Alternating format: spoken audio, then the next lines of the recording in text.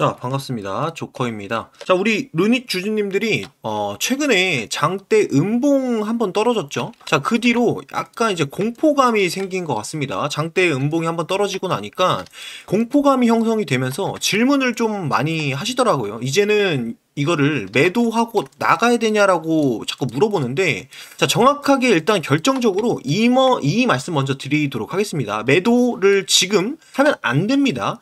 하반기에 숨어 있는 재료가 있기 때문에 어 요거 재반등 다시 나와줄 수 있는 상황이거든요. 자, 하반기에 그러면은 우리가 지켜봐야 될 이 재료가 뭐가 남아있는지 이번 영상 통해가지고 제가 정확하게 우리가 얘기를 나눠보도록 하겠습니다. 자, 여기에 맞춰서 하반기의 주도 섹터까지 제가 말씀드려 볼 테니까 영상 꼭 끝까지 집중해서 보셔야 됩니다. 하반기에 정말 큰 수익권으로 우리가 돌릴 수 있는 기회라는 게 지금 왔다 왔죠. 자 여기에 맞춰 제가 말씀드려 볼 테니까 어, 우리 시작하기 전에 영상 구독과 좋아요 한 번씩 누르면서 우리 재료 한번 같이 알아보는 시간 갖도록 하겠습니다. 자, 우리 구독자님들 한해서는요, 제가 내부 자료 같이 제공을 지금 해드리고 있습니다. 근데 구독자님들 한해서 제가 드리고 있기 때문에 구독과 좋아요 지금 한 번씩 눌러주시기 바랍니다. 자, 우리 시작을 해 보도록 하겠습니다. 지금 여의도 증권가 쪽에서는 하반기에, 자, 여의도 쪽에서는요, 하반기의 주도 섹터 그리고 주도주가 누구냐 루닛이냐 KCS냐 요걸로 지금 한판 붙은 것 같아요. 자 11월 클라스 올릴 종목은 이렇게 기사가 나왔죠. 자 루닛에 대한 지금 힘이 많이 실리고 있거든요. 자 최근에 왜 그렇죠? 힘이 실리는 이유가 루닛의 빅파마와 현업을 통해 가지고 지금 AI 시장을 주도할 거다라는 성장 기대감이 엄청나게 루닛한테 바람이 불고 있어요. 자, 빅파마는 누굽니까, 여기서? 주주님들이라면 요 정도는 아셔야 됩니다, 우리가. 아스트라제네카라는 요 미국의 제약바이오 쪽에서는 정말 큰 기업이거든요. 이 기업이 루닛을 선택을 하면서 AI 시장을 앞으로는 루닛이 주도할 거다라고 하면서 기대가 굉장히 커지고 있죠. 자, 아스트라제네카가 어떤 회사냐면요. 우리 삼성전자보다 큰 기업이라고 생각하면 됩니다. 아시겠습니까? 루닛의 선, 루닛을 선택한 이 빅파마, 빅파마라는 기업이요. 우리나라 최고의 기업이 어딥니까? 지금 시총 1등. 삼성전자죠. 그런데 삼성전자보다 더 제약바이오 쪽에서는 그것도 미국 시장에서 더 큰 기업이 루닛을 선택했다라고 생각을 하면 되고 우리 주주님들이 조금 더 알아듣기 쉽게 얘기를 하면은 삼성전자가 루닛을 선택했 다라고 보시면 되는데 이것보다 더 큰 회사가 루닛을 선택했다라고 보시면 됩니다. 자, 아스트라제네카가요. 왜 루닛을 이렇게 선택을 했을까요? 일단은 루닛이 요번에 가지고 나온 기술이요. 앞으로 이 암 발병률이 엄청나게 늘어날 것으로 예상이 되는데 이 폐암 시장에서 이 변이를 검출을 기존에 했던 방식보다 훨씬 더 빠르고 정확하게 할 수 있는 기술력을 루닛이 갖고 있기 때문입니다. 지금까지 이 암을 이제 검사를 하는데 굉장히 시간도 오래 걸리고 돈도 많이 들어가잖아요. 자, 그래서 검사를 이제 할 때요. 보통 이제 어, 음성을 잘못 판정하는 경우도 굉장히 많았고 상당한 비용과 시간이 소요가 됐다라고 합니다. 자, 그런데 루닛의 이 기술력 AI 솔루션을 활용을 하면은 이 변이 여부 가능성을 5분 이내에 신속하게 탐색을 지금 할 수 있다라고 하고 시간이 단축이 되다 보니까 어떤 게 많이 줄어듭니까? 자, 이 암 환자가 앞으로 많이 늘어날 것 같은데 비용이 많이 걱정되잖아요. 우리가 암이 발생을 하면은 이 비용이 많이 들기 때문에 우리가 이 보험이라는 거를 굉장히 많이 들죠. 자, 그런데 이거를 앞으로는 신속하게 할 수 있고 비용을 줄일 수 있다라고 하면은 루닛의 AI 솔루션을 이용하지 않을 기업들이 없을 거라는 겁니다. 자, 이거를 아스트라제네카는 너무 빠르게 알고 있기 때문에 지금 루닛이 다른 기업들과 이 M&A라든지 MOU를 체결을 하기 전에 빠르게 선정을 한 거죠. 자, 암 환자의 90%가 의료진과 정확하게 신속적으로 의료 상담을 원한다라고 합니다. 자, 수요가 원하는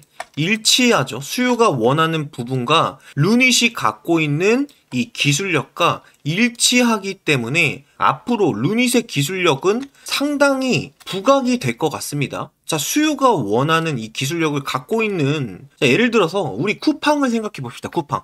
자, 지금 우리가 쿠팡을 왜 못 끊죠? 생각하지 못했던 겁니다. 빠르게, 신속하게 배달이 되고 조금 더 저렴하게 살 수 있다는 이 수요층의 이 욕구를 해결해 주는 거죠. 그렇기 때문에 쿠팡이 우리나라의 점유율을 가져갈 수 있었죠. 근데 앞으로요, 쿠팡은 불과 이 물류 시장밖에 안 되는데 우리가 지금 앞으로 훨씬 큰 수요가 나올 수밖에 없는 시장이요. 바로 암 시장이에요. 그래서 최근에 모든 제약 바이오 쪽이 이 R&D 사업을 하면서 달려들고 있는 게 바로 이 암 시장입니다. 엄청나게 커질 시장이죠. 좀 슬픈 일인데 우리가 나이 들수록 암에 걸릴 수밖에 없어요. 몸이 점점 아파와죠. 자, 이 말은 사업적으로 보면은 수요층이 앞으로 늘어날 거고 원하는 사람 그리고 살려고 하는 사람이 많아진다는 겁니다. 제약 바이오 쪽에서 가장 핫한 키워드가 바로 최근에 암 시장인데 이 루닛이 그 암 시장에서 핵심 포인트라고 보시면 됩니다. 우리는 그런 핵심 포인트를 갖고 있는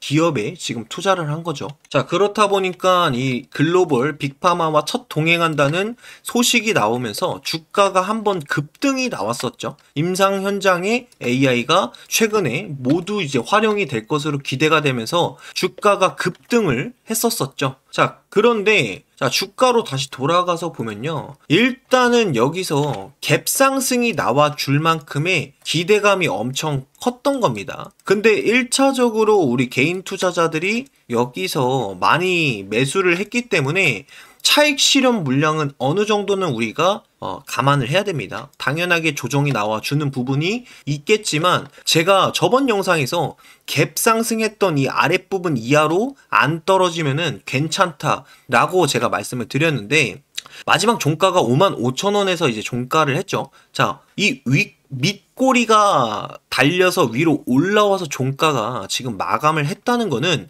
여기서요. 새로운 수급이 들어왔다는 겁니다. 아시겠나요? 자, 밑꼬리가 달렸다는 건요. 이 선수 교체가 되면서 새로운 수급이 저점이라고 생각해서부터 들어 올린 거거든요. 자, 여기가 만약에 똑같이 음봉으로 장대 꽉 찬 파랑 색깔 이 막대 모양이 나오면서 마감을 했으면 추가적인 하락을 우리가 조금 감안을 했었어야 되는데 다행히 밑꼬리 부분이 남긴 상태에서 주가가 종가가 마감이 됐죠. 그 말은 새로운 수급이 들어왔다라고 보시면 됩니다.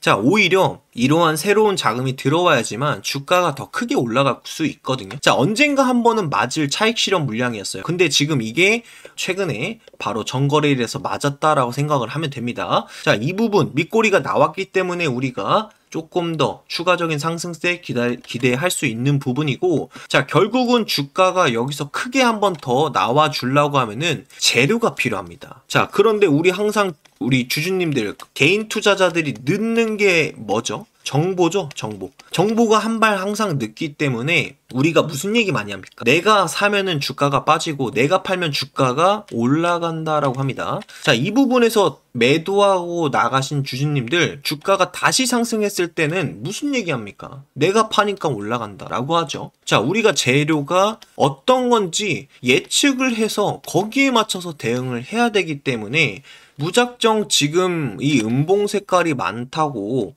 공포 심리에 갇히면 안 됩니다. 그죠? 자, 우리가 다음 재 료는 어떤 걸 기대해 볼 수 있습니까? 자, 이런 포인트는요. 이 루닛 대표가 CEO님이 말씀하셨던 부분에서 저는 재료를 찾을 수 있을 것 같습니다. 자, 이분이 뭐라고 말씀을 했냐? 서범석 루닛 대표님입니다. 이분이 뭐라고 했냐면은 결국은 이 미국 시장의 안착만이 의료 AI 패권의 결정이 날 거다. 직판 전략이 바로 핵심 포인트다라고 말씀드렸습니다.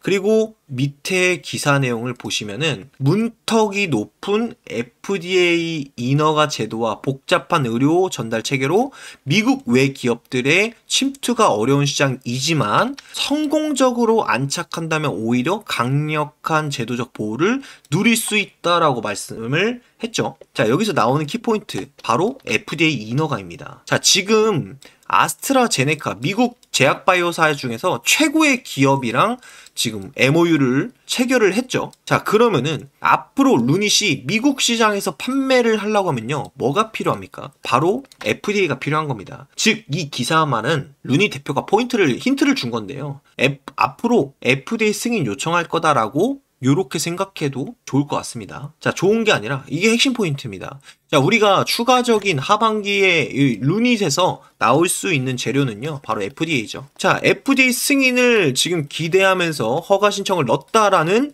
요러한 뉴스와 기사가 뜨면은 주가가 어떻게 되겠습니까? 재반등 나올 수 있죠.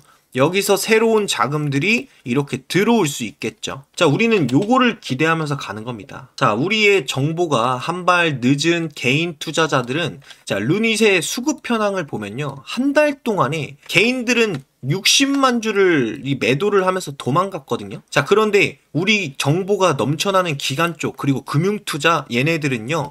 한 달 동안에 매집된 물량이 무려 130만 주를 매집을 했습니다. 얘네가 왜 매집을 했을까요? 얘네 기다리는 거 똑같습니다. 똑같습니다. FDA죠. 결국은 미국 시장에다가 FDA 승인 요청할 거다. 요거 기다리면서 얘네가 매집을 한 상태입니다. 우리 주주님들께서 약간의 수익 아니면은 손절하는 이런 물량을 뱉는 물량을요. 얘네는 전부 다 받아준 겁니다. 얘네가 받아준 건 바보가 아니죠. 얘네는 기부천사가 아닙니다. 주가가 더 올라갈 거를 알고 있기 때문에 매집을 한 거죠. 자, 요렇게 외인 쪽, 기관 쪽, 그리고 이 자금이 넘쳐나는 얘네들은 이만큼 매집을 하는 동안에 얘네가 흔들렸을 것 같습니까? 아니죠. 자, 이미 FDA 얘기는요, 기대해 볼 수 있는 거는 이 금융권, 증권가 쪽에서는 지금 널리 알려진 얘기예요. 그죠? 자, 이 부분 제가 내부 자료 같이 제공을 해드릴 겁니다. 자, 내부 자료 제가 신청하시는 방법 말씀드리고 나서 우리가 어떻게 대응을 해야 되는지 마지막으로 좀 말씀을 드려보도록 하겠습니다. 자, 추가적인 핵심 내부 자료는 저한테 숫자 7이라고 문자를 보내주시면은 제가 지금 공유를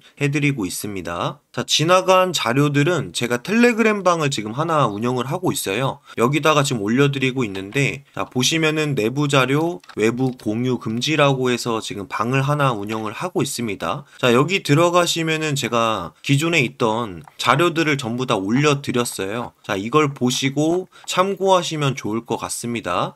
자, 이 텔레그램 방에 참여하는 방법은요. 이 영상 하단에 보시면은 제가 적어 놨습니다. 조코의 텔레그램 방 입장 링크 남겨드렸고요. 자, 문자로 신청하시는 방법까지 적어 놨습니다. 자, 요거 신청하시고, 어, 위에 있는 링크 누르셔서 입장하시면 됩니다. 자, 다운로드가 아직 안 되신 분들은 다운로드 하셔서 들어가 오시면 됩니다. 근데 나는 텔레그램 방 이런 거 이용하지 않는다. 어, 카톡만 사용한다라고 하시면은 그냥 저한테 숫자 7이라고 문자를 보내주세요. 자, 그러면은 제가 PDF 파일로 내부 자료 추가적인 거 공유를 해드리도록 하겠습니다. 자, 돌아와서 우리 차트 잠깐 보면서 얘기를 하면은 제가 말씀드렸던 이 부분이, 이 부분이죠. 자, 결국은 갭이 뜬 상태가 48,000원부터 떴단 말이에요. 그죠?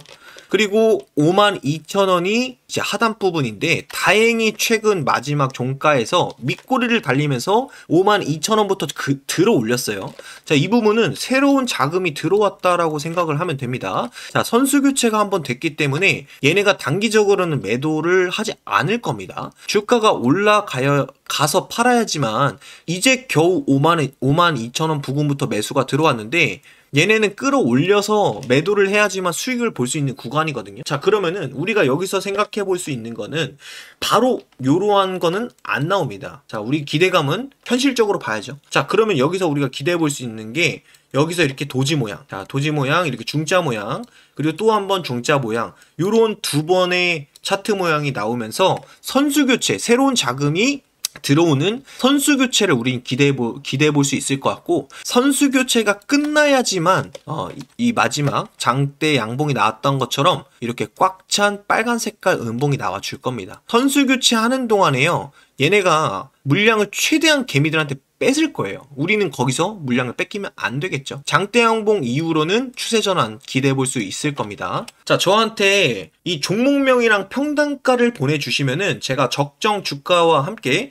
대응 방안 같이 말씀을 해드리고 있습니다. 자, 일단은 이 부분은요, 저희가 실시간으로 조금 대응을 해야 되기 때문에 종목명이랑 평단가를 문자로 보내주시면은 거기에 맞춰서 제가 적정 주가가 왔을 때한분 한 분 답변 드릴 겁니다. 자, 그리고 너무 평단가가 높으신 분들은 거기에 맞춰서도 제가 대응 방안까지 말씀해 드리도록 하겠습니다. 자, 지금부터는 정말 집중해서 들으셔야 됩니다. 제가 돈을 버는 구조와 원리와 방법을 말씀드릴 거예요. 구독자 이벤트이기 때문에 구독자분들 한해서 제가 진행을 할 거고요. 매일 선착순으로 진행을 합니다. 그날 그날 변동성에 따라서 종목이 다를 수 있어요. 그리고 선착순으로 제가 모집을 하고 있기 때문에 어제 내가 신청했는데 종목을 못 받았다. 그러면은 오늘 다시 한번 신청을 하시면 됩니다. 자, 방법은 두 가지가 있습니다. 일단 첫 번째 방법은요.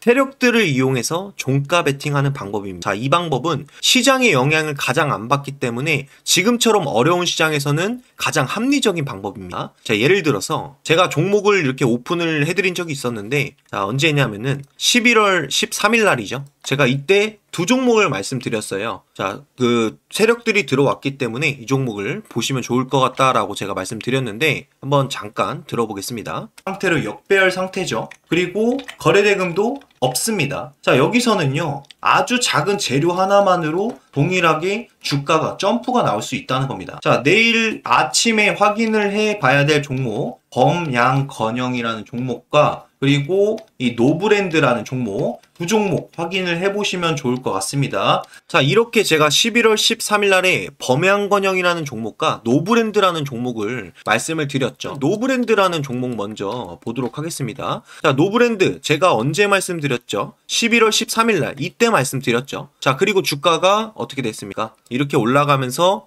약 30% 정도가 지금 수익을 났을 겁니다. 자, 다음 날도 바로 수익을 났었는데 지금까지 끌고 왔었으면 더 큰 수익을 봤었겠죠? 자, 그리고 노브랜드 말고요. 제가 범양건영이라는 종목도 말씀을 드렸죠. 범양건영도 잠깐 보시면은 말씀을 드린 시점부터요. 11월 13일이면은 한 이쯤 되거든요. 요쯤. 자, 요때 요때인데 음봉이 떨어졌을 때인데 자, 이 시점부터 동일하게 주가가 몇 프로 올라갔냐? 약 30%가 상승이 나와졌습니다. 그죠? 자, 요런 식으로 제가 종가 베팅을 말씀을 드릴 건데, 종가 베팅은요, 단타 좋아하시는 분들이, 어, 가장 맞을 것 같습니다. 저한테 종가 베팅이라고 문자를 보내주시면은, 제가 매일매일 새롭게, 어, 문자로 종목을 말씀드릴 겁니다. 적정 주가랑 같이 말씀드릴 거니까, 거기에 맞춰서만 대응을 하시면 됩니다. 자, 그리고 두 번째 방법은 바로 이 매집주 정보를 이용해서 들어가는 겁니다. 자, 이거는 크게 먹고 싶은 분들, 그리고 단타하기에는 내가 시간이 좀 없다. 내가 어떤 일을 한다거나 직장을 다닌다거나 빠르게 대응하기 힘들다 하시는 분들은 매집주, 정보가 있는 종목들 위주로 들어가시면 좋을 것 같습니다. 자, 예를 들어서 어, 이런 거죠. 제가 10월 4일 날에 샤페론이라는 종목을 말씀을 드렸어요. 제가 이렇게 10월 4일 날 샤페론이라는 종목을 말씀드렸는데 자, 10월 4일 날 이점 한 이쯤이거든요. 자, 요때랑 비슷하죠. 그때부터 주가가 어떻게 됐냐? 크게 상승이 나와졌죠. 10월 4일 날부터도 바로 10월 23일 날까지 몇 프로 정도가 올라가졌냐? 약 31% 정도 이렇게 올라가졌습니다. 그죠? 자, 그리고 샤페론만 더 드렸던 게 아니라 제가 10월 2일 날에 DGP라는 종목과 그 다음에 태성이라는 종목을 말씀드렸어요. 자, 그리고 이거는 조금 과거 차트이긴 한데 태성이라는 종목이 이렇게 6% 정도가 올라와졌죠. 자, 그리고 DGP는 좀 크게 나와졌던 게 상한가를 다음날 들어갔습니다. 자, 이런 식으로 제가 정보를 미리 말씀드릴 거예요. 자, 그러면 이걸 맞춰서 하시면은 크게 수익을 볼 수 있을 겁니다. 자, 그리고 리가켄바이오라는 제가 종목도 10월 7일 날에 안보 이네요. 10월 7일 날에 제가 리가켄바이오 정보를 이렇게 제공을 어, 드렸습니다. 주가가 올라갈 수밖에 없는 명확한 이유에 대해서 제가 설명과 그 다음 자료를 제공을 해드렸었는데 자, 이 종목 같은 경우는 질문을 계속적으로 받았던 게 제가 이 리가켄 바이오를 10 10월 7일 날 이 시점부터 드렸거든요. 그러니까 주가가 이렇게 올라가니까 우리 주주님들께서 계속 질문이 왔었어요. 이거 지금 매도를 해야 되냐, 매도를 해야 되냐, 언제 매도해야 되냐, 이런 질문을 계속 받았었는데 제가 계속적으로 글을 써드리면서 10월 8일 날도 말씀 드렸죠. 리가켄 바이오 조금 더 끌고 가야 된다. 자, 이때거든요, 차트가. 자, 이렇게 올라갈 때 우리 주주님들이 이제 욕심 때문에 빨리 매도를 하고 싶은 겁니다. 자, 근데 제가 계속 글을 써드리면서 기다려라라고 말씀드렸었고 10월 16일 날도 제가 말씀을 드렸거든요. 10월 16일 날도 리가켄 바이오 끌고 가셔도 좋다라고 제가 어, 말씀을 드렸습니다. 리가켄 바이오 이렇게 자료를 제공을 해드렸었는데 최종적으로는 어떻게 됐냐? 자, 26%가 상승이 나와주는 모습을 보여줬죠. 자, 10월 7일 날부터 처음으로 제가 말씀드려서 리가켄 바이오 결국은 11월 6일 날짜로 26%가 상승이 나와주는 모습을 보여줬습니다. 자, 이렇게 직장인이라 나는 빠른 거 못한다. 그리고 나는 조금 크게 먹고 싶다 하시는 분들한테 맞을 것 같습니다. 저한테 매집주라고 문자를 보내주시면은 제가 매일매일 새롭게 종목을 말씀드릴 겁니다. 자, 내가 어제 못 받았어도 종목을 못 받았어도 괜찮습니다. 오늘 저한테 다시 신청해 주시면 되고, 어, 오늘 신청하셨어도 내일 또 신청하시면은 제가 그날그날 선착순으로 신청을 받도록 하겠습니다. 자, 감사합니다.